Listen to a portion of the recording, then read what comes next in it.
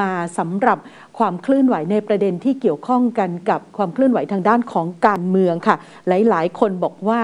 อยากรู้คำตอบจากปากของนายกรัฐมนตรีว่าตกลงว่าจะไปอยู่กับ รวมไทยสร้างชาติหรือไม่นะคะไปบอกลาอำลาท่านบิ๊กป้อมแล้วหรือเปล่านะคะติดตามความเคลื่อนไหวกัน สิ่งที่นะคะผู้สื่อข่าวได้รับจากนายกรัฐมนตรีในวันนี้ท่านก็ยังยื้อสำหรับการจะตอบต่อกรณีของท่าทีทางการเมืองเนี่ยนะคะว่าจะไปอยู่ตรงจุดไหนอย่างไร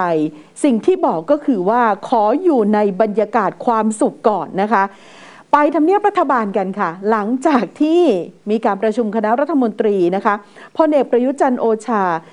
นายกรัฐมนตรีนะคะ ปฏิเสธที่จะตอบคำถามผู้สื่อข่าวถึงวันประกาศท่าทีทางการเมืองที่ชัดเจน โดยนายกรัฐมนตรีนั้นกล่าวเพียงแค่ว่า สวัสดีนะจ๊ะ ขออยู่ในบรรยากาศความสุขก่อนแล้วกัน ผู้สื่อข่าวถามบอกว่าจะแยกทางกับพลเอกประวิตยรองนายกรัฐมนตรี และหัวหน้าพักพลังประชารัฐ ตามที่เป็นข่าวหรือไม่พลเอกประยุทธ์ไม่ตอบคำถามนี้นะคะ ผู้สื่อข่าวก็เลยถามย้ำไปอีกว่า จะบอกวันชัดเจนในการประกาศท่าทีทางการเมืองได้หรือไม่ว่าจะเป็นเมื่อไหร่ เพราะประชาชนรอฟังอยู่ค่ะ